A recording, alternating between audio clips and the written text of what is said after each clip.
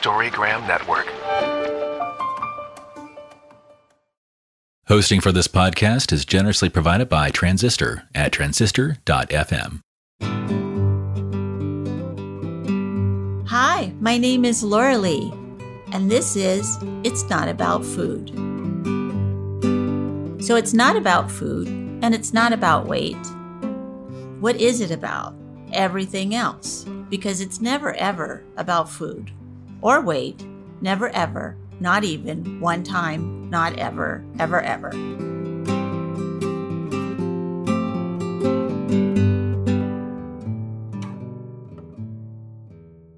Hello, everyone. This is Laurelee Roark from It's Not About Food podcast. And today we are talking about sexuality. So the front of the card is the goddess is dancing and she's dancing next to the deer. She's sort of like all in herself. And so is the little animal. I feel like this is a card about that's right, I got it going on. kind of a feeling about it, very much in her power of her sexuality. And so the back of the card reads, our relationship with food, body size, and sexuality are complex. By exploring the link between negative body image and sexual shame, we can begin to respect and love our own unique beauty, and then hold our bodies and sexuality as sacred. We can then reclaim our sexuality for ourselves as the pure, precious, and honorable force it is. And what a wonderful way it would be if we were all in this world able to do this. I feel body image disturbances would stop, uh, eating disorders would stop, rape, molestation, incest would stop, you know, using our bodies as commodities to sell products would stop. so many things would be able to be different if we could just reclaim our sexuality for ourselves as the pure, precious, honorable force that it is. And how do we even do that in the culture that we live in? How do we even step into that powerful circle? and leave the negative body image and sexual shame behind. It's a process, you know, for many of us. And some of us have been hurt worse than others, that's for sure. But it is a very hard thing to do in the culture we live in where we use the female body and the male body to sell everything from car tires to housing. you know, I mean, it's, it's everywhere. So I'm really happy to have Megan with me here today. I've known her for a long time. She was in our peer ed program. Many, I don't even know when that was, but it was many years ago. And I think we had her for a couple of years in the peer education program and just really a wonderful addition to our program and to the presentations. Very honest and open with, you know, what we were trying to get across to these young people and peer to peer saying, you can do this. You don't have to be the way that I was when I was your age, you know, and you were only like a couple years older. it was great fun to see you and Jenny, you know, were always so great about coming and and presenting everywhere we went. It was fabulous. Anyway, so I want to introduce Megan so she can tell us what she's doing these days and why she picked this card and what's happening out in the world, out in your world. Hi. Yeah, so that was like 13 years ago because I'm 30 now. oh my God. I and still think exactly I'm only I'm only 30. yeah, it's so wild. I think I started with you guys when I was 17. And then, yeah, I must have been a junior. Yeah. And then I also did the senior year. And then I went to college and I, but then I came back because I actually was struggling with some of the similar right. stuff and everything else in the world. I took a semester off school and I was again um, coming to your group and I think also doing some peer ed with you guys again. Oh, and it was so just like great. And you know, that is so interesting to hear that even with all the knowledge that you had and going and teaching about this thing that you left home and went back into it. So what happened about that? Because you had all the information I mean, it's just like almost humbles you because you think you're over something. And I was actually, I remember entering like college and looking down on other girls who were like talking about, you know, all the things that we talk about that we don't say because we're too mature to say that and we know right. better. Like, I feel fat and all that stuff. I'm like, God, it's so stupid but yeah, in, in high school, like before I started working with you guys and during, I was a really serious ballet dancer. So that's kind of self explanatory, like right. why the obsession right. with food and weight, because it was like part of my everyday, you know, existence. And then really broke free from that. And then in college, I think like that was right around the time of the beginning of the wellness movement. Well, not the beginning, obviously, like, you know, back in like your generation, like you guys really started it with like raw food and the what this and then that. But then the kind of more new age wellness, infrared saunas, SoulCycle, like That's gluten free, dairy free stuff started. And I was like doing a yoga training and I think I just got like really obsessed, like sneakily with being healthy which I think they call orthorexia or whatever. And I was having some health problems so I was like, oh, if I just cut out this and this and this, then I can control my health completely. I can balance my hormones. You know, like I can't eat any sugar. But it, became again an obsession. And I thought I was doing it for the right reason. And then, yeah, it became this, you know, my body is a temple that is so pure and nothing bad can enter it, which sounds great if you're like living on a mountaintop exactly. and meditating. But like I'm in New York City, like breathing like toxic fumes and all day, like trying to eat kale chips for lunch or whatever. But yeah, so that snuck back as like an orthorexia thing. But it doesn't really matter what it is because it was like the mental state was that of complete obsession. And there's no room for anything else and like there was no room for like we picked the card sexuality like feeling sexual because you don't care about that stuff because you're just fixated on being like this perfect specimen that doesn't exist well to me it all makes sense what you're saying and that yeah, I mean, there's no room for sexuality or individuality or do I even like kale chips? Kind of a you know questioning of anything. that that that's a really deep question. The answer is no. right, and that whole crazy insane thing that we've done to ourselves in this culture by listening to the advertising agencies that want to make us feel bad about ourselves. So we'll buy more kale chips or, and I'm not even saying kale chips are wrong or bad or anything, but it's give it a rest, whatever it is, you know, because it's not life or death, but we take it as life or death. Like I have to be healthy, whatever that means, and well, whatever that means. And I kind of think that it means in this culture that you won't die if you eat this way, you will be perfect and you won't die. You can control. Right. Yeah. And we're not supposed to feel sad or mad or bloated or angry or or just whatever, like a person. Sick. Yeah. Like a yeah. human. There's no room for that. Totally. And I just feel like the what happened in the last 10 years is like this shift which is kind of like you know an evolution away from the obsession with being thin to the obsession with being healthy and like probably is healthier to eat like grass fed meat and greens and not drink alcohol and all the things that are come with the wellness culture and like green juice or whatever rather than like smoke cigarettes and drink black coffee. Like sure it's probably healthier but like the like contraction around the mental state around it is the same. And it's i totally went through that like a few years ago like dismantling uh, maybe like 6 years ago now dismantling that and just feeling so much physically healthier like eating much worse food, you know, technically worse food because just not thinking so much about like, is this organic and is this going to, is, is there a pesticide in this? I know. it's a weird thing because in schools,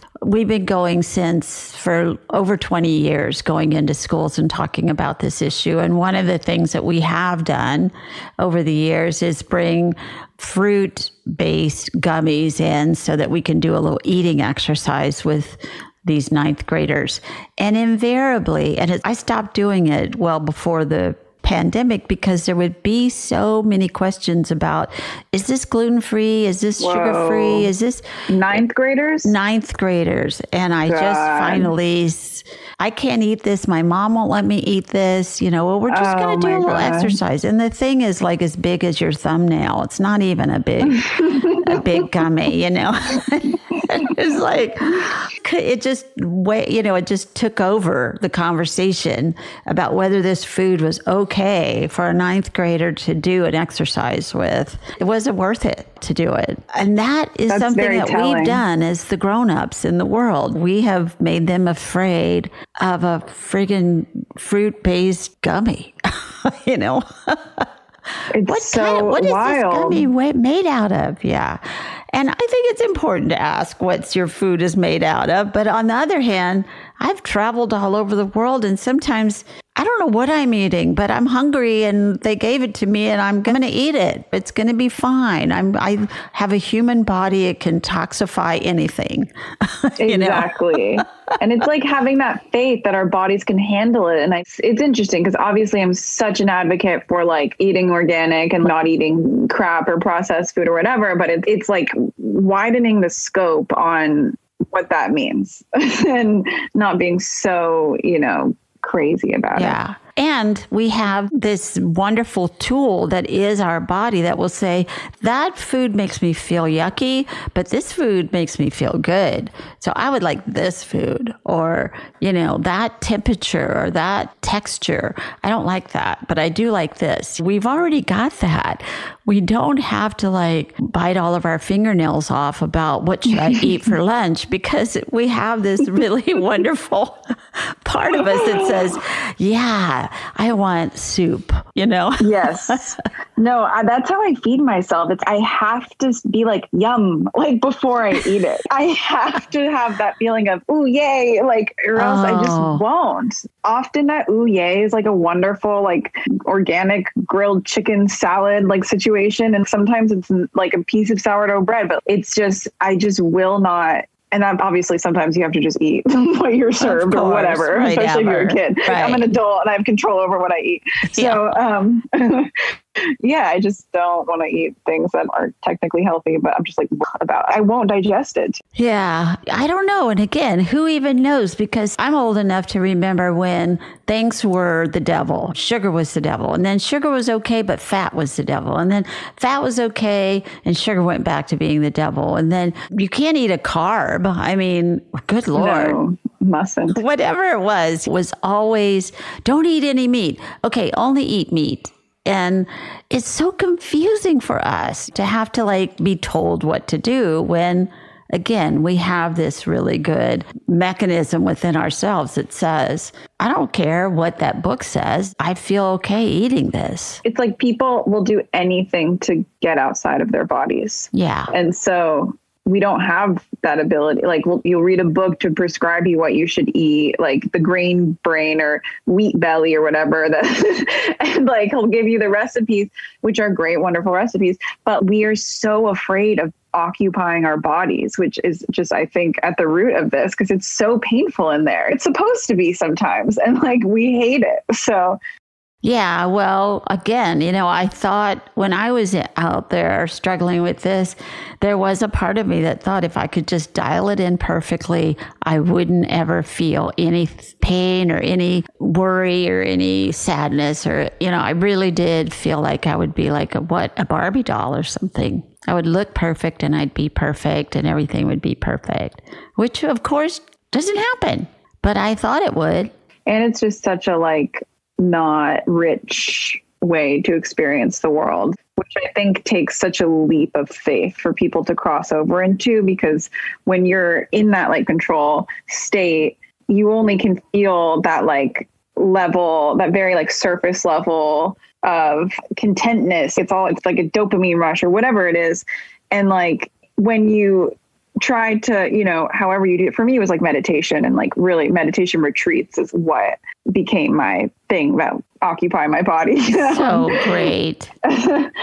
but like it all of that other stuff dismantles and then you're like who am i even without that? Yes. nothing until you fill it back up with actual human like life and real things so So tell me, why did you pick this specific card?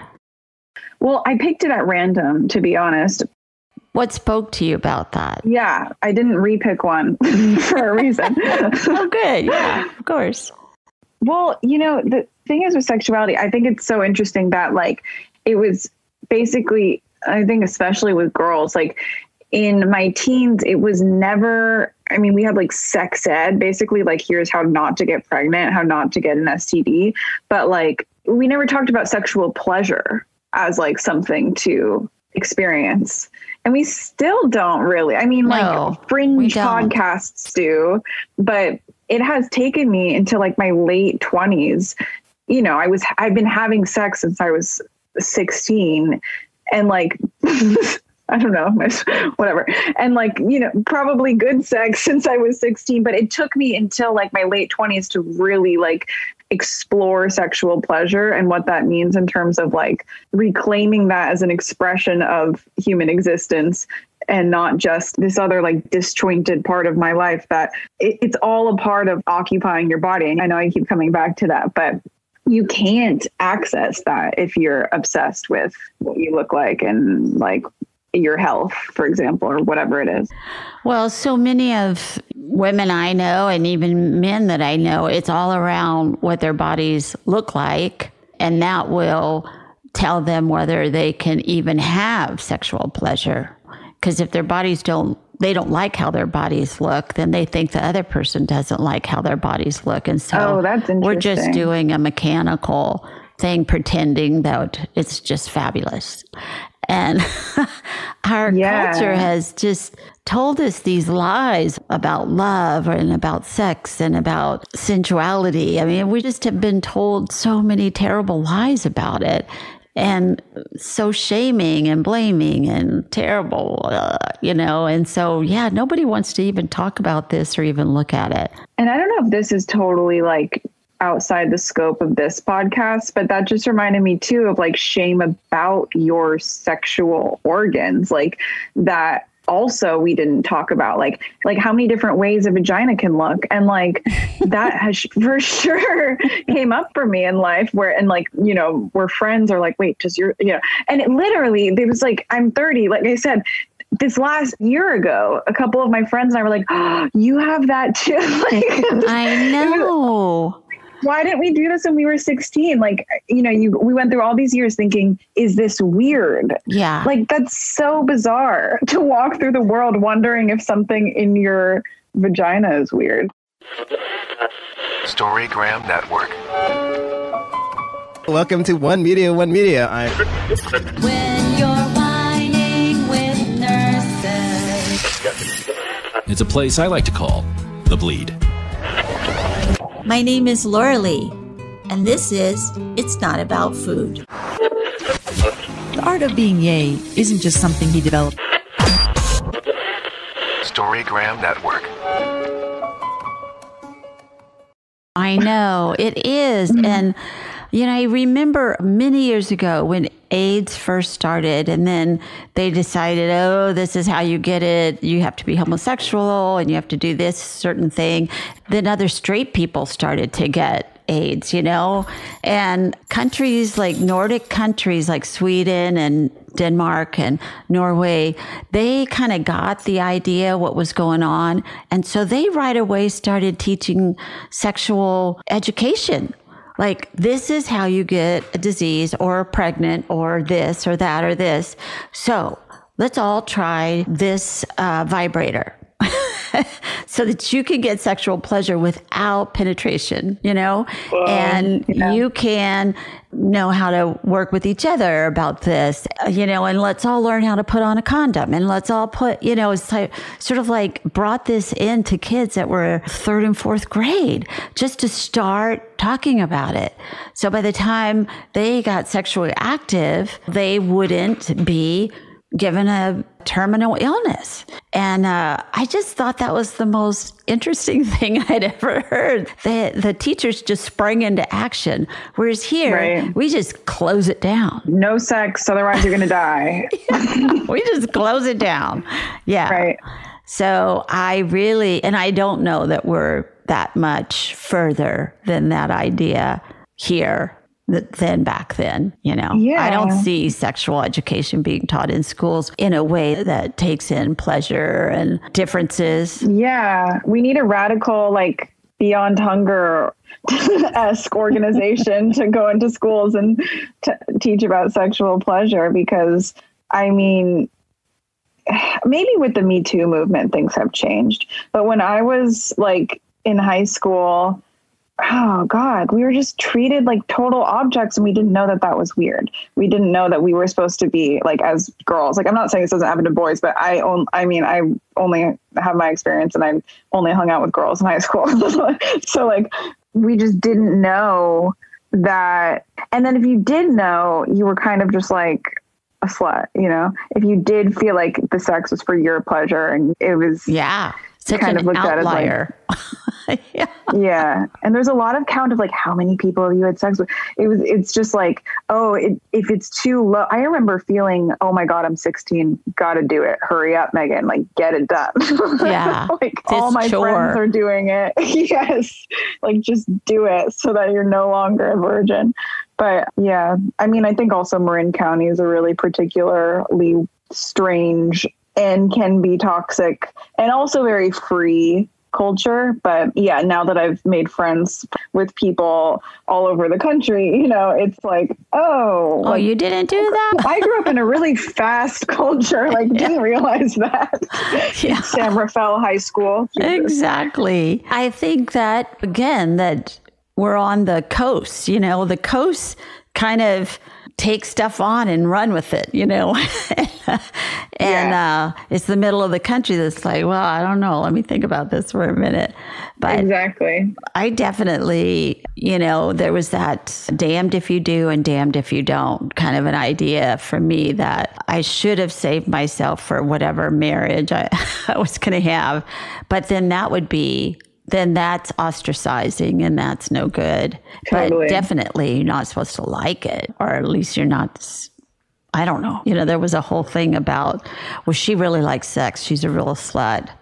It's like, well, why does she get to like sex? and None of us do, you know, or whatever. It's so insane. No, I remember like my first like serious boyfriend I had like as an adult when I was 22. Like I I remember trying to make him think basically that I was like this virgin Mary. Like I never said it. Like I obviously wasn't a virgin, but and then obviously like we got closer and I was like told him everything that had happened in my life. It was a lot. But like why did I do that? It was just like cool. I think it went both I think like the pendulum swings. Like this is attractive right now in culture to have a big butt. Like 10 years ago it was attractive to be completely flat and like just a stick or whatever. But what was attractive it seemed like around 2014 was like for to like have barely had a lot like not had a lot of sex. Yeah. So I was like, oh okay, that'll make me attractive and he'll stick with me. Yeah. And it's all such a game instead of, does this person, me, like this person, that person, you? Are we going to get together just because we like each other and we're fitting together? Or there's all these other games that you have to play. It's exhausting. Yeah, to create this like image of what you think is like the feminine or whatever. And, you know, so many of my clients, they've lived with their husband for years and the their husband has never seen them naked. They've never turned on the Oh, light. wow. They've never So much shame, it's yeah. so much shame, so much body shame and just oh no, he'd leave me if he ever saw me. You know, it's like believe me, he has seen you.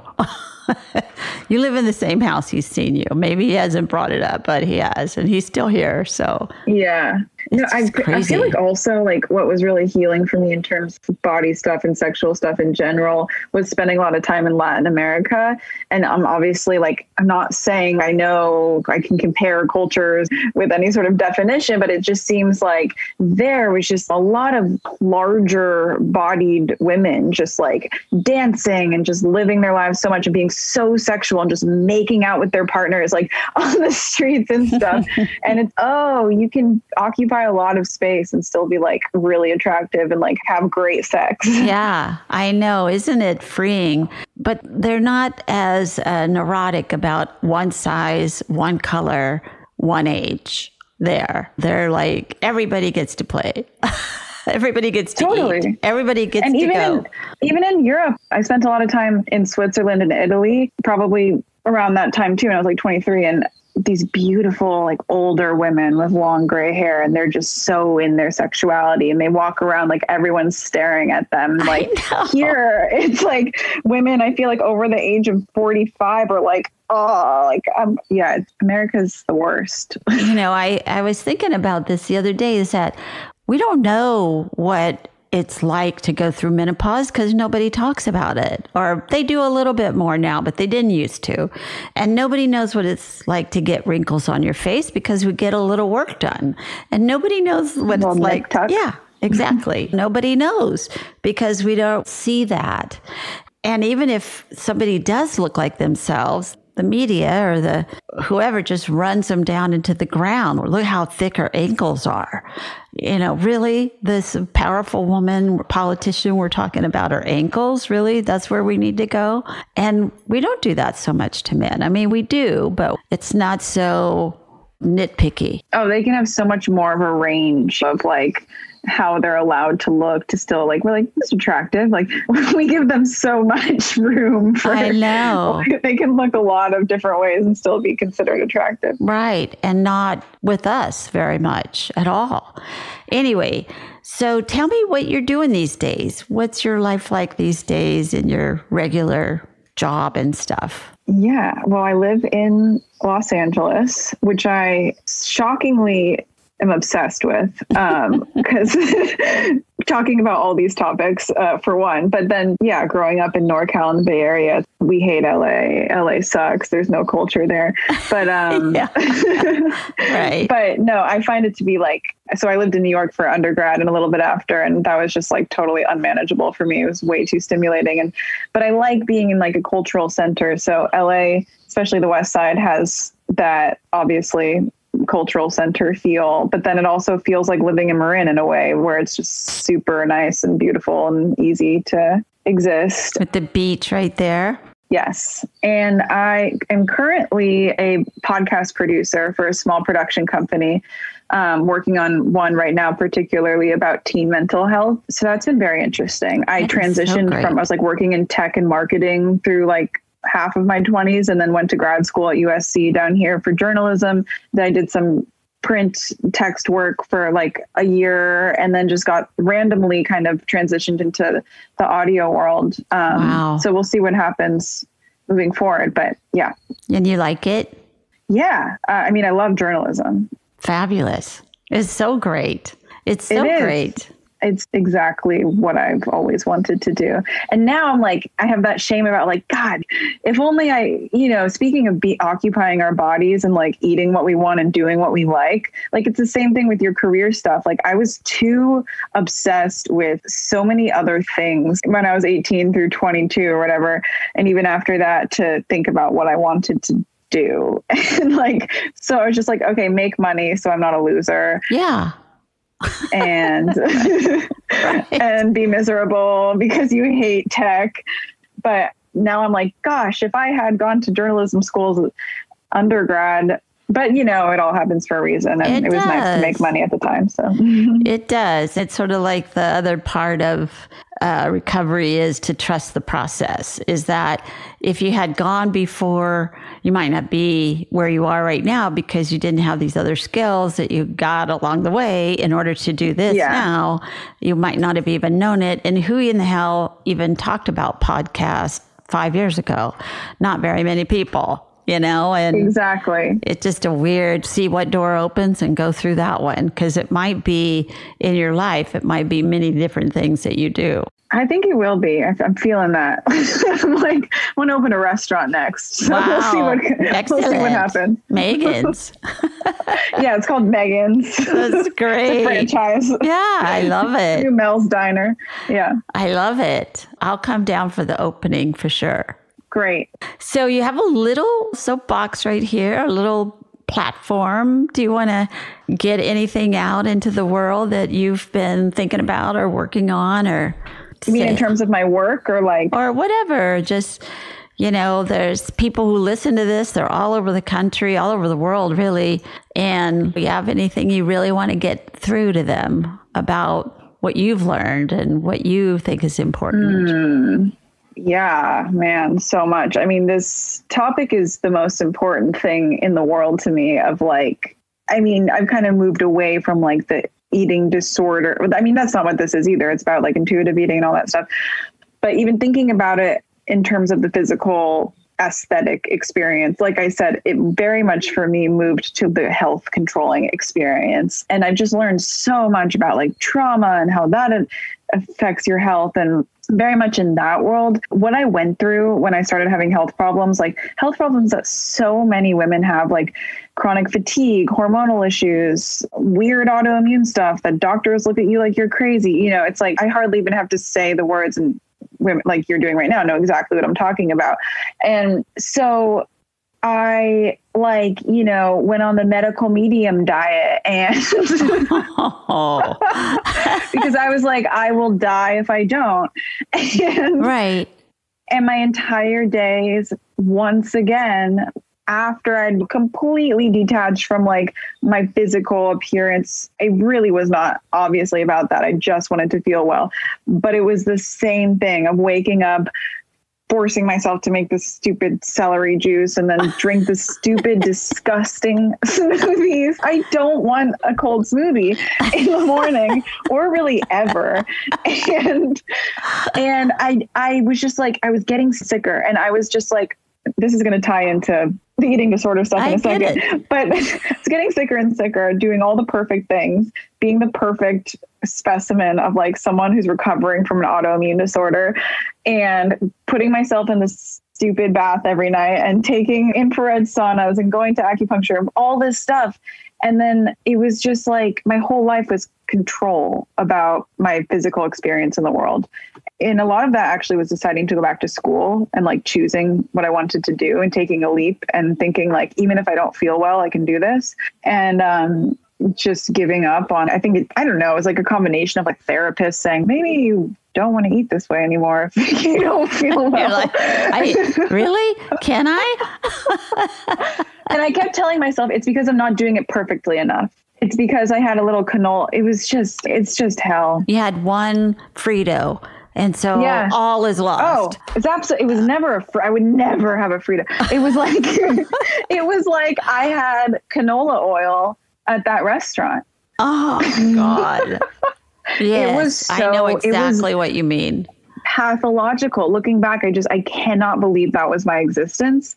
So I think these health problems are not going away. I think we're really realizing the trauma piece in it, which is what I explored and could talk about all the things I did to explore that for a century. But it's never about food. Like to, to get it, um, you know, as long as you're eating generally well, feeding Yeah. yourself, it's like I just find all of this like health obsessed food will fix all of your health problems if you eat in a, in the proper way. Like to be so toxic and not saying that can't be the cure for some people. I've never seen it, but I think it could be perhaps. But yeah, I just hope nobody forces them to- themselves to do the medical medium diet um, ever if they don't want to. But it, there's so much money in it. There's so much money in making us afraid of food or afraid of our bodies, afraid of our sexuality, afraid of our power. There's so much money in that. And it, you know, you got to follow the money to see who's really pulling the strings. And so I tell my clients, what do you want to do? And they're like, what should I do? No, no. what do you want to do? and I, I was Tell a very me. yeah, I was a very young mother. Everybody around me told me, "Oh, you got to at that time, you know, if you fed your baby with a bottle, you had to boil the bottles and boil the nipple and the parts of the bottle and there was just this rigmarole that you had to do all the time and I remember doing that and anything that he touched had to be boiled or he'd get sick and die. I mean, it was really like that kind of a life and death situation. And I had to do his clothes separate. And I mean, there was just so many things like that. And then he was a little kid and he was sitting out in the backyard one day and I looked over at him and he was eating bugs. And I went, I wonder why in the world I did a whole year of sterilizing everything. And here he is sitting, a little boy out in the yard eating a bug. And I really have no control over this. That's the word, though. It's sterilizing. It's like whether it's to look a certain way or to feel a certain way, it's like we're trying to sterilize our environment so much, fix them, put so many good probiotics in our microbiome that like no yeast can get in there, Nothing gets in. Right. Yeah, and it's just that's not how we become happy and feel well. It's like having good embodied sex and eating when you're hungry and having good relationships and not doing work you hate. It's like not it's pretty simple. Maybe taking some supplements or maybe some medicine if there is medicine that helps for whatever you're dealing with. But it's like, yeah, this uh culture. Yeah. Movement the way that you want. Yeah, forgot that. Don't piece. worry about whether you're burning carbs or doing steps, you know, just move your body the way that it wants to move. Again, I think we can look at these older cultures, older than America, because we're a young culture, and see what are they doing? Well, they're getting out at night and walking the Zocalo and going to a dance party. That looks so fun.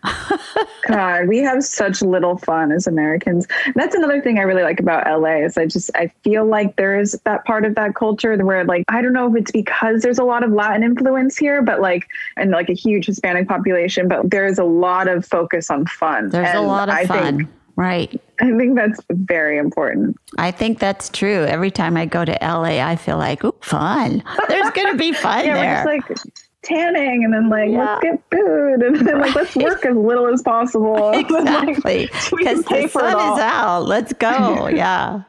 Well, Megan, I'm so happy that you were here today. And I wonder if you'll read that very last part just for today. Today, I will practice realizing it is not my size that limits my sexual experience, but rather it is my shame and fear, the same feelings that are so often at the core of my struggle with food and weight. I will experiment with looking at my body, the expression of my sexuality, and my sexual desires as natural, pure, precious, and sacred. Oh, thank you very much. And thank you so much for being on and being out in the world and doing this work still in whatever way you are. And you will continue to do so. And I just course. really, you know, just I remember you in high school and I just felt again, and we never know how people feel inside, but I thought, man, she's got her together. I didn't have my together at that age at all, you know. But, you know, we're judging the outsides. But I was really Crying about my boyfriend during the breaks, like on the oh, I phone with him, probably. I Like, know. But also, it just feels like you got through it and you did it with support. You had some support. And then, even when you kind of hit a wall, you knew what to do at some point. You knew to trust yourself and to trust your body. well, I'm so grateful for this education I had that most people don't, you know, at the exactly the right time. So Yeah. Well, thank you very much and say hello to LA. And I will. I have two wonderful people I love very much down there. So I do fly in every once in a while. I'll be sure to give you a text. Yes. Let's go for a walk in the sun. Yay. Okay. All right. Bye. Bye. Thank you. Thank you for listening. You can find me on all the social medias at It's Not About Food. And if you would like to get the show a week early and ad free, you can become a member at Patreon. Search It's Not About Food podcast. Thanks so much.